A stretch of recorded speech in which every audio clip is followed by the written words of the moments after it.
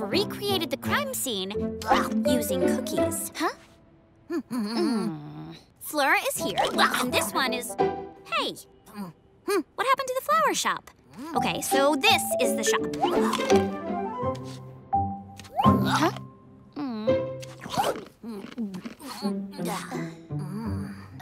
Meatball, have you seen the cookies? Yeah? Aha! You ate all the cookies, isn't that right? Aw, but they're so yummy. Meatball, how can we solve the mystery if you eat the crime scene? Don't worry, Milady. Fleur, when was the last time you saw the orange cornflower? Um, I'll have to think about it. I was in such a hurry to get here. Try to remember any places you may have passed along the way. Mm. Oh, Oh, I remember I heard the clock strike 12 while I was walking. Good. We have a trail to follow. Come on.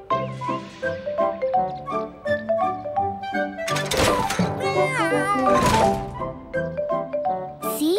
It's 1 p.m. Fleur, you walked by here exactly one hour ago. Nicely done, Pilou. Elementary, my dear Fleur. The cornflower disappeared before you got to your shop. So there could be a clue around here somewhere? I think so, but we've got to find it. Awesome! I was right. Here's our first clue. Ha Is it an edible clue? Huh? Meatball, you ate our clue again! It doesn't matter. There's a trail of petals this way.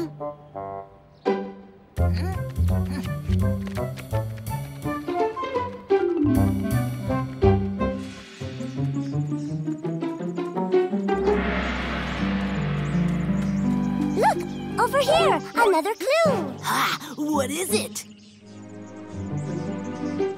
Hmm. It looks like engine oil. Blech, that doesn't sound like a very yummy clue. Buffycats, we've got a problem. There are too many stains, too many trails to follow. There's no way to be sure which is the one. Well, at least I'm sure about how hungry I am. We're never going to find my flower! Did you just say flower? Someone with an orange flower spilled that oil and made a mess of the place. So you saw the culprit? No. His back was turned. But the culprit did come through here, and my whiskers will find out where he went. Now that's a Buffy brainstorm, Lampo. My whiskers are telling us that's the right track. Subscribe to the channel.